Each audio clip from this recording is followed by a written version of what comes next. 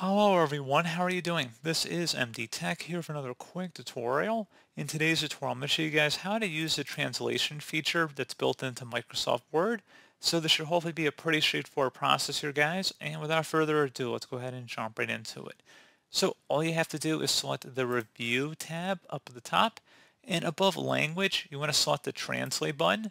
And where it says Translate section, you can translate a specific selection in Microsoft Translator, or you can translate an entire document, which will create a translated copy of your document with Microsoft Translator.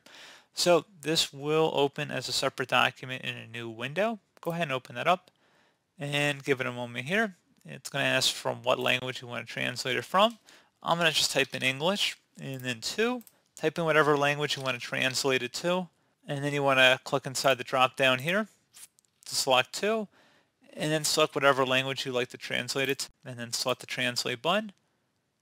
And there you go guys, simple as that. Please keep in mind that all translations will not be perfect. I believe they use Bing to translate, so just keep that in mind. But pretty straightforward process guys. You can see the original documents over here. You'd have to save this document somewhere else if you wanted to save and edit it in the future. So pretty straightforward process. I do hope I was able to help you out, and I do look forward to catching you all in the next tutorial. Goodbye.